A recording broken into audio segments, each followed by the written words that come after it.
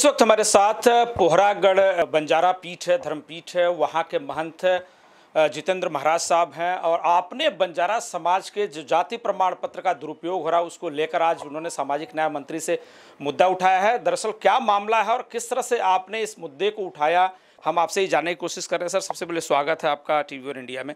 क्या मामला था जिसको लेकर आज आप सामाजिक न्याय मंत्री से मिले थे? मामला ये था, जैसा हम आरक्षण में विजय एंटी में आते हैं और विजय एंटी में 16 जाति का समाविष्ट है। तो कुछ ये बोगस राजपूत भामटा को लेकर कुछ लोगों ने समाज कल्याण अधिकारी को पकड़ के महाराष्ट्र के 20 जिलों में समाज कल्याण अधिकारी को पैसे की लेन देन करके बोगस प्रमाण पत्र जाति का बनाया। और उससे हमारा ऐसा नुकसान हुआ कि हमारे विजय प्रजाति में आने वाले जो लड़के हैं लड़कियाँ हैं ये जो डॉक्टर बन रहे थे एमबीबीएस हो रहे थे नीट को जा रहे थे नीट एग्ज़ाम पास होकर भी ये वो मुकाम तक नहीं जा रहे थे क्योंकि बोगस प्रमाण पत्र के आधार पर ये बोगस जाति के लोग उसमें घुस जाते थे या उस अ, अ, सरकारी नौकरी का लाभ ये लोग ले ले हमको नहीं मिलता था या ये लोग ले लेते थे। तो महाराष्ट्र के कुछ जो लड़के लड़कियाँ जो है, जो एम बी बी एस को थे, वो सब मिलकर पोहरा देवी गोर बंजारा धर्मपीठ पे आकर के मुझे और आदरणीय किशन भाऊ राठौड़ जी को ये प्रकरण हमारे सामने रखा और हमें बोला कि ये बहुत बड़ा सामाजिक विषय है और ये विषय में हमें धर्मपीठ से न्याय मिलना चाहिए, क्योंकि ये अपने जाति के जो संगठना है या कोई जो हाँ हाँ हाँ राजनीतिक लोगों से हमें न्याय नहीं मिल रहा है।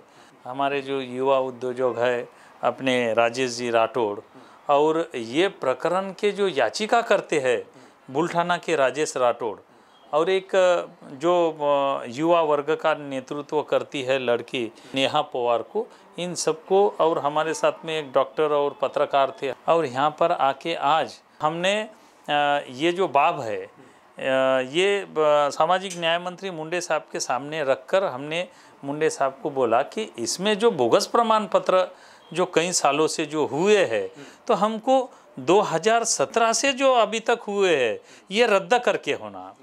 और ये रद्द करने के बाद ये रैकेट में जितने लोग शामिल है, जितने अधिकारियों ने पैसे लेकर के ये बोगस प्रमाण पत्र इशू किया है इन सब पर हमको कायदेशीर कार्रवाई होना। क्या आधार आपके पास है कि इतने बड़े पैमाने पर यह धांधली हो रही है?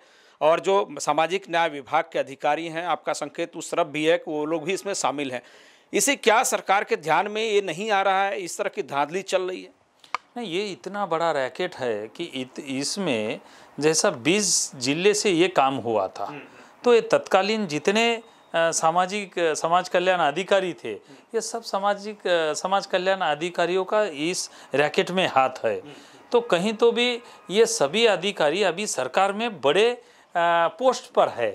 तो कहीं ना कहीं ये जो प्रकरण है, इसको दबाने की कोशिश इन अधिकारियों की चालू है।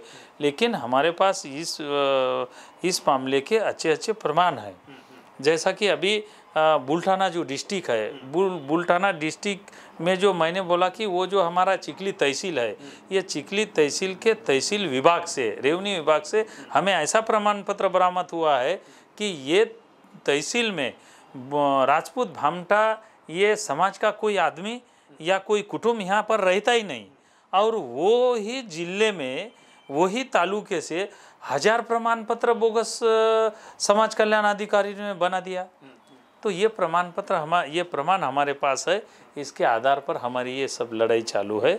आने ये जो आने वाले दिनों में ये सब भांडा इनका फूट के रहे। आपने सामाजिक न्याय मंत्री से जब इसकी गुहार लगाई कि इस पर कार्रवाई होनी चाहिए तो सामाजिक न्याय मंत्री धनंजय धनंजय मुंडे का रवैया क्या था? उन्होंने किस तरह का आपको आश्वासन दिया और ये कब तक मामला लगभग निपट सकता है? जैसा कि पूरी बात हमारी सुनने के बाद न्याय मंत्री धनंजय मुंडे जी ने अपने संबंधित विभाग के कुछ अधिकारियों को बुला के सबको हमें आश्वासित किया और हमारे सामने सबको बुलाकर मीटिंग अरेंज करने को सबको बोला कि ये पंद्रह दिन के अंदर जो जो ज़िले इस घटना से प्रभावित है, उन सभी ज़िले के लोगों को, यहाँ पर अफसरों को बुला के ये मीटिंग ले करके जो इसमें न्याय देना है तो हम इसमें आपको जो आपको करना चाहिए, वो करेंगे और न्याय देंगे।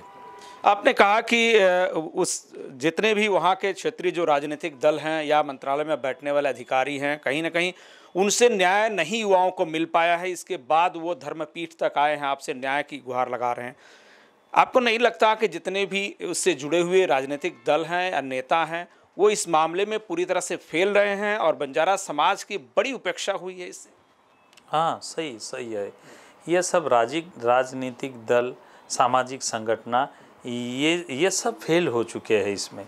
क्योंकि कहीं ना कहीं कहीं ना कहीं राजकारण को लेकर, पॉलिटिकल फ़ायदा देखकर इन लोगों ने ये प्रश्न के ऊपर अनदेखा किया है।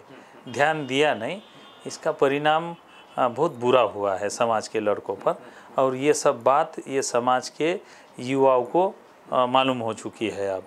करके उन्होंने धर्मपीठ से अपेक्षा रखी है। न्याय हमें धर्मपीठ में ला के देंगी। अब चूँकि वो धर्मपीठ तक आ गए हैं तो किस तरह से आप भरोसा उन्हें दिला रहे हैं कि आने वाले समय में अगर सरकार ने इस पर ध्यान नहीं दिया, सामाजिक न्याय मंत्री ने अगर ध्यान नहीं दिया और इसका समुचित समाधान नहीं निकला तो धर्मपीठ के ज़रिए किस तरह का आंदोलन या किस तरह की रणनीति होगी ताकि जो युवा हैं? अगर सरकार ने हमें न्याय अगर नहीं दिया, हमारे लड़कों को न्याय अगर नहीं दिया तो मैं खुद धर्मपीठ से ये सभी युवाओं को लेकर बंजारा समाज के युवाओं को लेकर कॉलेज स्टूडेंट को लेकर सभी लोग ये लोगों को लेकर मैं मंत्रालय के सामने धरना दूँगा और न्याय मांगूँगा। ये प्रजाति में ये सोलह जाति के लोगों को कि ये न्याय मिलने को होना अगर ये कुछ सरकार के तरफ़ से अगर इन सभी लोगों को या हमारे युवकों को अगर न्याय नहीं मिलता है आंदोलन सर बहुत बहुत धन्यवाद। जैसा कि आपने सुना इससे बंजारा समाज के युवाओं के भविष्य पर एक प्रश्न चिन्ह खड़ा हो गया कि अगर